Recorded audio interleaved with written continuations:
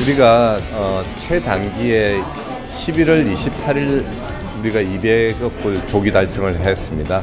어, 한국이 아주 매력적인 투자처인 것을 우리가 보여줬고 앞으로도 더 많은 정책이 이런 외국인 투자 기업을 유치할 수 있도록 어, 산업부가 정책을 마련하도록 하겠습니다.